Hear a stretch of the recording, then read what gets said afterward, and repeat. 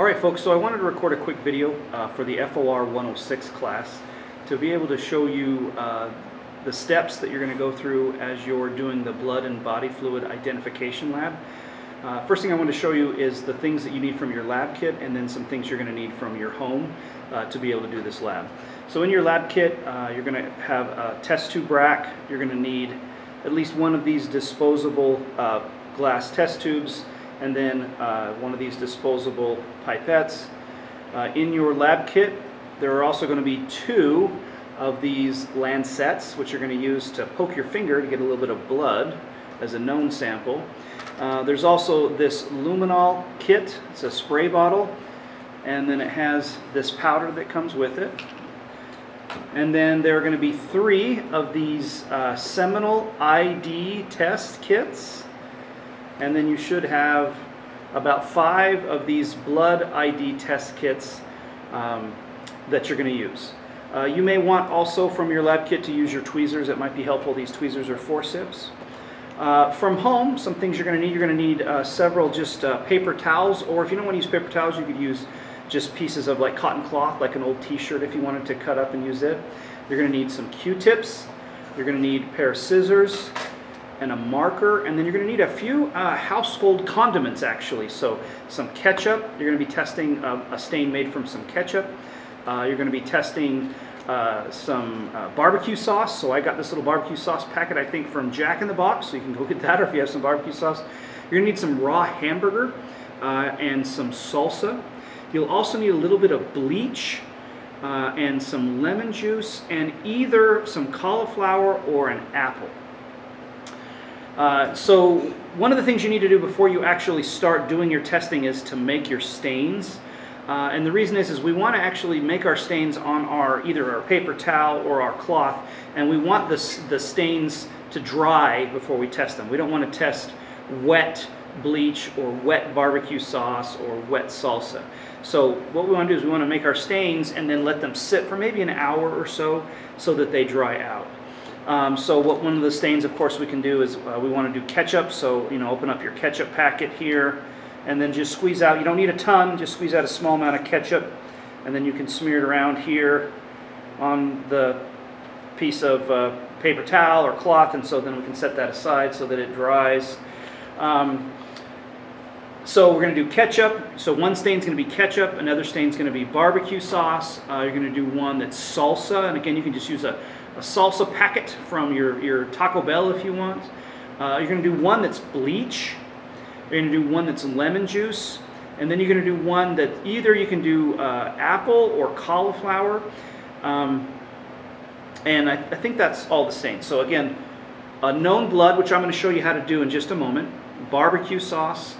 Uh, raw hamburger, you're not going to make a stain. You're actually going to swab the hamburger itself. Uh, again, ketchup, salsa, bleach, and lemon juice. And then one of the things you're going to test is saliva, but you're not going to make a saliva stain.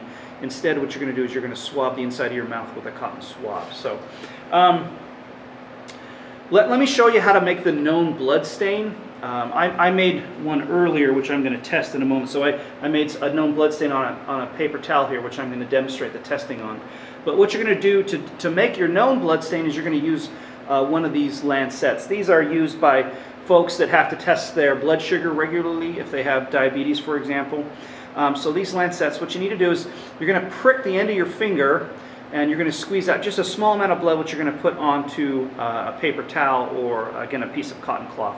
So what you do with the lancet is just is twist off the tip here and there's not an exposed needle, but what's going to happen is you're going to press this against your finger, and a, and a small little teeny needle is going to prick the end of your finger real quick, and then you're going to squeeze the end of your finger, and a little bit of blood's going to come out.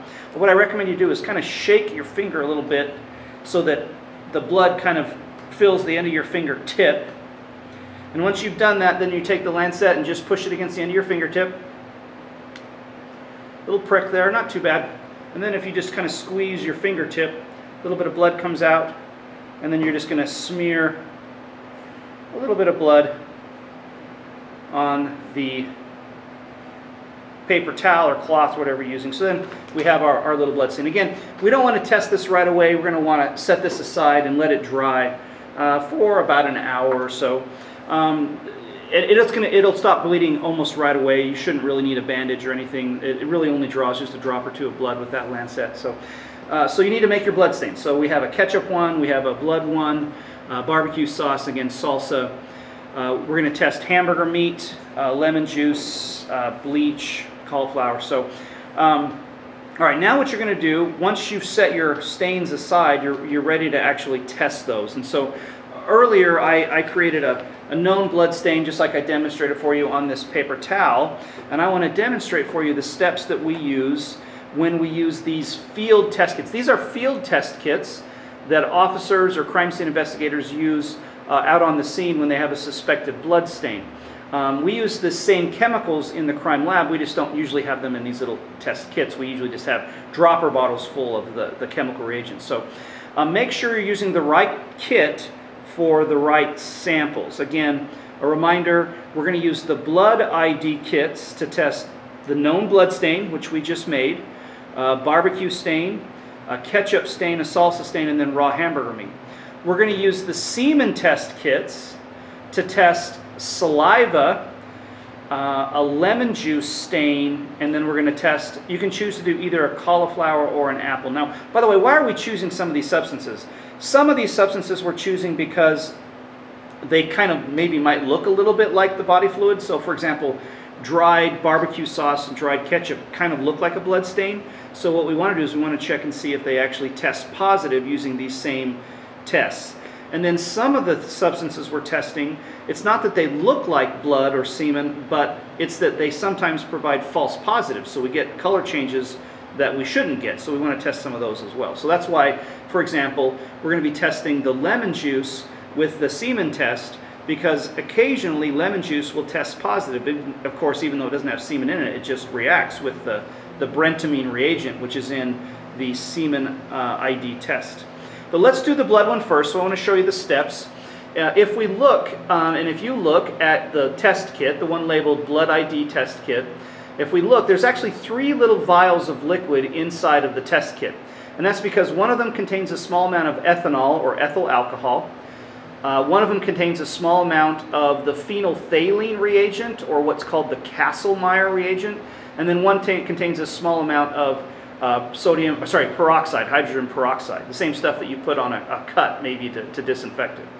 Uh, and so uh, we're going to be breaking each of those little ampules after we add our sample to the test kit to see if we get a color change. Um, the other one, the semen test, uh, there's only actually one of them in here that has liquid, so we only actually have to break uh, and expose our sample to one liquid. But before I start doing my testing, I want to be safe, so what I'm going to do is I'm going to put on a, a pair of disposable gloves. So I have some uh, nitrile gloves here. You can use latex gloves or whatever. These can, you can just buy these at your uh, your local grocery store. Because I am dealing with some chemicals, for example, there's a little bit of uh, chemicals inside here. There's a brentamine reagent and the phenolphthalein reagent. We probably don't want to expose those to our skin. Uh, so it's a good idea for us to put gloves on. Uh, and then I would recommend you probably put some safety glasses on too. All right, so let's say I want to test this blood. How am I going to do that? Well, the first thing I want to do is I want to take a test tube that has a little bit of water in it, and I want to moisten the end of a cotton swab. So just a normal Q-tip or cotton swab like you might have at your house, I'm going to take, I'm just going to moisten the end of it with a few drops of water. Just normal water is fine. Preference would be distilled water, but normal water is fine. And then I'm going to take this moistened tip of the cotton swab and I'm going to rub it against the, the stain, this dried blood stain. And a little bit of that's going to come off on the end of the cotton swab. So we can see a little bit of discoloration on the end of our swab. Okay. Now if I take my test kit, first thing I want to do is I want to pull off this little black safety clip. Don't throw it away, just pull it off and set it aside for a moment. And then I want to open up the test kit. And then I want to take the cotton swab the end that I want to test, the one that's got the, the discoloration on it from my, from my blood stain, or my suspected blood stain. Actually, we know this is blood. We've we, we put it there. I want to put that in there. Now, it won't quite fit, so I'm going to actually take my scissors and cut the end of the swab off just a little bit. And then I can take and push that down so that the cotton swab, the end of the swab, is all the way down at the bottom because there's only just a small amount of chemical in there. I want to make sure that it, it comes in contact with my stain. So now I push that swab with my stain on it to the bottom. I'm going to go ahead and fold this back over and I'm going to put the clip back on here, this little safety clip. What that's going to do is it's going to make sure that the chemicals stay contained with inside this, this test kit. Now there's three vials in here. So if, as you're looking at the test kit with the label facing towards you, you want to break them from the left to the right. We're going to break them one at a time. So I'm going to break the one here on the left first, and I do that simply by squeezing it with my thumb and finger. You can hear it break, and that releases that liquid into the test kit, and I want to shake it up a little bit. It says gently agitate for about four or five seconds. Now at this point we should see no color change. It should the clear the liquid should say clear. We should see no color change on the end of the cotton swab. That's just the ethanol. Now I want to break the middle ampule. So again, squeeze the middle vial. You'll hear it break. I'm going to shake it up. Now this is the phenolphthalein reagent. And at this point, again, we should see no color change. Again, we should just have a clear liquid. All right. And then I want to press and break the last one, the last ampule, the third one, the one that would be on the right. And then I'm going to shake it. And if we had blood, which we know this is blood, right? We made this stain. Then we should see, and I'm hoping that shows up on my video, that my liquid, and especially the end of my cotton swab, turns a fairly bright pink color. Well, that's an indicator that I have a positive result. So that's a positive test for the presence of hemoglobin, right? So that means that most likely that this is blood. Now, there are other substances that might turn pink as well. Those are what we call false positives. So we're going to test these other substances, the barbecue sauce, the raw hamburger meat, the ketchup and salsa to see if they might also test positive. Now when I'm done with this, I can simply throw this in the trash. I have a little cup right here. I'm just going to use as my temporary trash container. I'm going to put it in there. So what I need to do then is I need to repeat that same process. So grab a different test kit and then repeat that same process with the barbecue. Uh, with the raw hamburger, all you need to do is take one of your Q-tips and just rub it against some raw hamburger meat and then test that. Again, test a ketchup stain and a salsa stain. All right, testing the seminal, using the seminal fluid stain is very similar. The only difference is instead of having to break three vials of liquid, I only have to break one. Well, one of the things that can sometimes give a false positive for semen is saliva. So we want to test and see if saliva will react with our test. So what we're going to do for that test is we're going to take one of our cotton swabs and we're just going to rub it on the inside of our mouth to be able to collect some saliva or spit on the end of this cotton swab. So I'm going to do that now.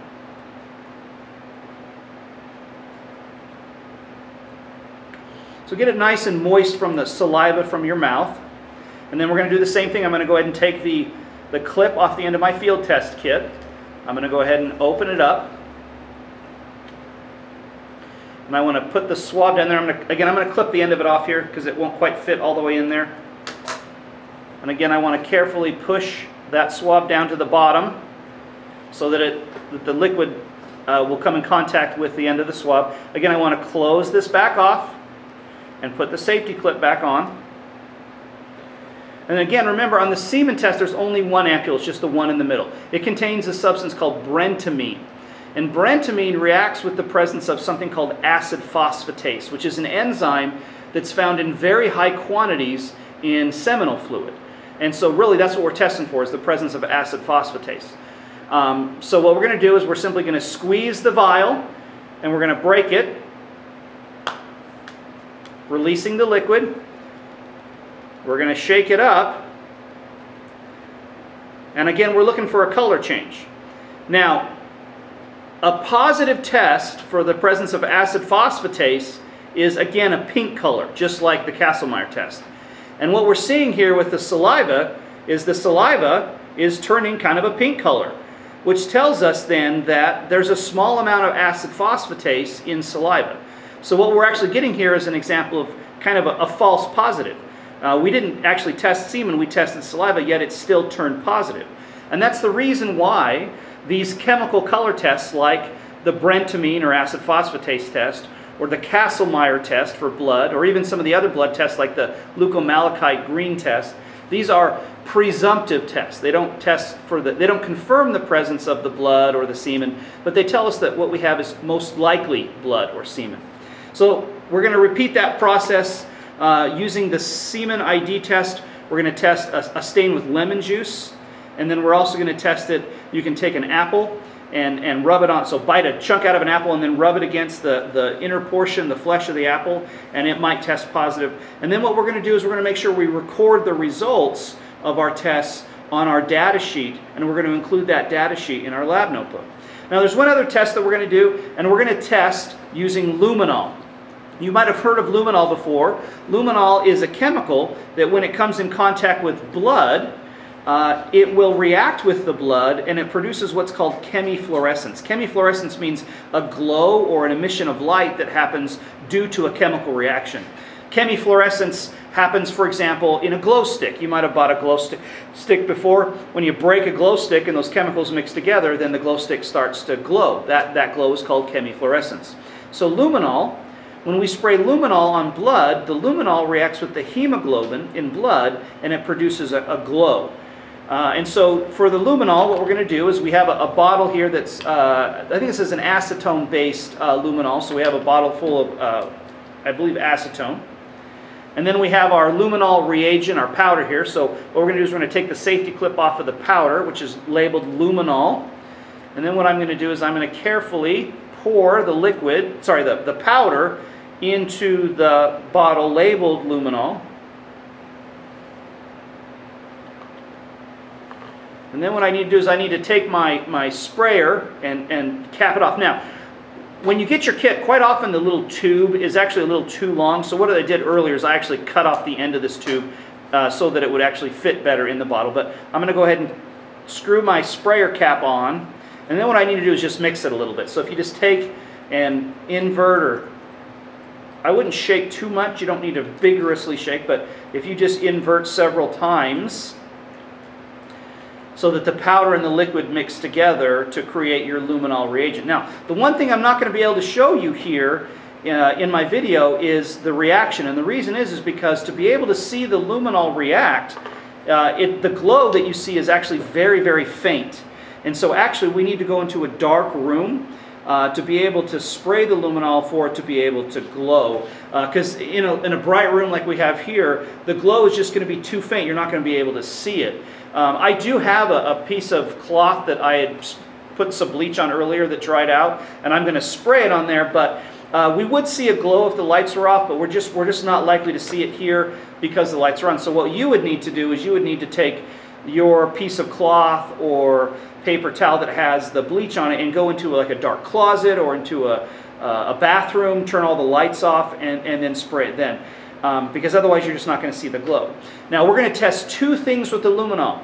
You're going to test your blood stain, right? So we had our blood stain. We're going to test that with luminol to see if it glows. And then we're also going to test bleach to see if it glows with. So you're going to put it down in a dark room, and then you're just going to spritz it, kind of like you're spraying hairspray.